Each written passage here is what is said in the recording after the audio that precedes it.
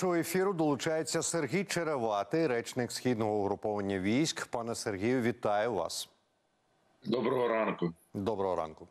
Масовані атаки ракетами та дронами та проблеми з електрикою перетягнули на себе фокус інформаційної уваги. Однак, поряд із тим, ситуація на східному напрямі залишається однією з найскладніших. Рашисти навіть повідомляють про певні успіхи та наступальні дії. Що зараз відбувається на фронті? Як просувається наша армія на сході? Ну після вдалої харківської лиманської операції ворог е, на Луганському напрямку в районі Сватова і Креміна зосередився на тому на побудові е, укріплень і е, траншей, щоб протистояти. Нашому контрнаступу, а головні атакувальні зусилля він зосередив в районі Авдіївського та Бахмутського напрямку, особливо Бахмутського, там е, постійно йдуть атаки, і він ви правильно кажете. Він іноді в інформаційній сфері робить вкиди про те, що в нього там є певні успіхи. Але завдяки героїзму і мужності наших військовослужбовців там вдається утримувати е, лінію фронту і подекуди готуються і для того, щоб і навпаки просунути і відсунути ворога від цієї лінії. Ну точно про що ворог не вкидає інформацію, це про свої втрати. А які вони і чи відчувається поповнення їхньої армії новомобілізованими? Ну щодня ворог втрачає. Ви бачите, генеральний штаб е, щодня оновлює ці дані. Він втрачає по декілька сотень е, військовослужбовців, і е, звичайно, що ті новомобілізовані, які приходять, вони не становлять якісь там золотий фонд е, російської армії, тому що кращі підрозділи були вибиті в попередніх операціях, таких як під Києвом, на Харківщині, під Лива, під Ливаном. Тому ці військовослужбовці, які приходять, вони. Як правило, там від тижня до двох проходять тільки бойову підготовку, якусь мінімальну і злагодження, тому вони не становлять якісь там ну, дуже велику військову загрозу. А у планах Кремля взяти Бахмут та всю Донеччину до кінця жовтня. Щоправда, ці терміни постійно змінюються, і, попри все, Путін продовжує окреслювати свої там великі амбітні плани. Чи справді а, росіяни вірять у це? Відчувається ескалація чи зміна в інтенсивності наступів? А, можливо, це спроба виграти час? Ну як показує більш ніж піврічний хід е, цієї війни наше е, головнокомандуюче, генеральний штаб, командування всіх наших угруповань на, на, на різних напрямках бойових дій щоразу ламали будь-які плани е, ворога. І я фактично переконаний, що так буде і цього разу. Для цього робиться все по максимуму.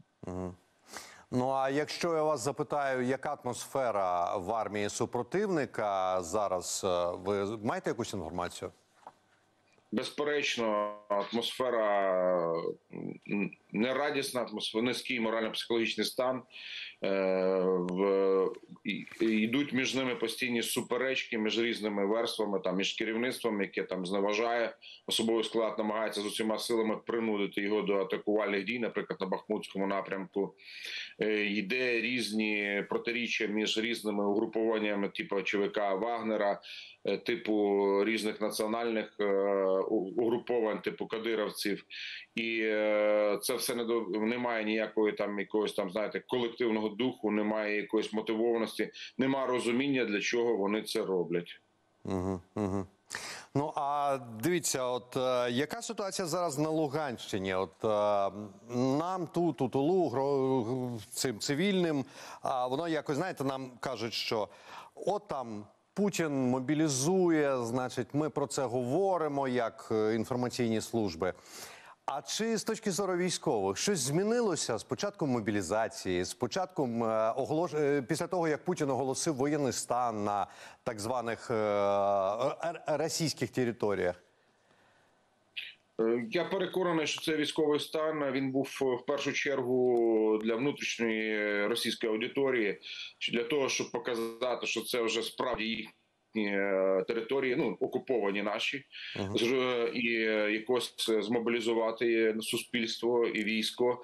Для нас це не значить рівно нічого. Ми як налаштовані були вибити ворога з усіх наших територій.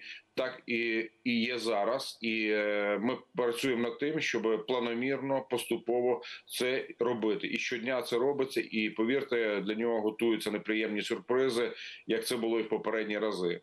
Угу. Угу. Ну і е, хочеться все ж таки запитати щодо деокупованих територій. У якому стані ворог залишає по собі міста та селища? Ну і ви розумієте, що я хочу насправді запитати, наскільки страшними бувають знахідки там? Ну, знахідки справді страшними. Остання з яких там, що так уже масово пред'являють суспільству. Зокрема, ми возили західні медіа. Це Лиман. Тобто е, ворог всіма силами показує, як він насправді, от оці всі казочки про один народ, про звільнення від якогось там нацизму, про те, що там є якісь страшні бандеровці. А от Юго-Восток, як вони називали, це наші рідні. Це все побрехеньки і міфи. Він, е, при- приходячи на окуповані території, він знущається незалежності від того, чи це Київщина, чи Харківщина, чи Донеччина. Тобто для нього всі тут люди не є своїми, і е, це є е, вони приходять, щоб тут панувати, щоб знущатися, і щоб е, зламати волю до спротиву. Тому в першу чергу вичисляють людей, які мали або якусь державну владу, чи там силові структури, хто мав проукраїнську позицію, який з громадських організаціях був, і максимально роблять все, щоб їх, ну коли вони були там, щоб їх вичислити і е, максимально вибити з них або якусь інформацію, або поламати дух до спротиву. І відповідно це приводило до того, що людей калічили, е, нищили, вбивали, в тому числі сім'ями. І всі ці знахідки вони будуть вони зараз там працюють. Ми збройні сили максимально сприяють цьому, але працюють правоохоронні спеціальні служби, і це буде пред'явлено в тому числі у всіх міжнародних інстанціях. Щоб е, вчора ви напевне чули, що Міністерство закордонних справ Німеччини сказало, що це, що робиться на наших землях, це геноцид, і все більше і більше міжнародних партнерів стоять на цю позицію. І думаю, недалекий той час, коли за це все прийдеться відповісти. Угу. І пане Сергію, останнє запитання. Я розумію, що це до правоохоронців радше, але чи є у вас інформація про е, те, що е, наші сили виявляють колаборантів, е, тих, хто співпрацював з ворогом на деокупованих територіях? Так ем, е, м, виявляються такі такі люди, на жаль, але цей цей процес він ну на превеликий жаль. Він в будь-якому конфлікті такі люди з'являються, е, і е, вони як тільки збройні сили, наприклад, е, затримують таких людей, ми передаємо їх спеціальним органам. З ними тут же ведеться вся необхідна робота. По перше, щоб е, зняти необхідну інформацію з них. А по-друге, притягнути їх до повномірної відповідальності за те, що вони скоїли, особливо якщо там було, е, якщо були ну. В результаті їх і в залежності від тяжкості, тобто наскільки якщо просто там, грубо кажучи, там сприяв, це одне. А якщо це потягнуло за собою ще там якісь втрати людські або суттєві нанесені шкоду обороноздатності країни, то зовсім інший варіант. Угу. Пане Сергію, вам дуже дякую за розмову, за ваш час так рано вранці. Це Сергій Черевати, речник східного угруповання військ. З нами на прямому зв'язку був. Пане Сергію, дякую вам. Гарного дня.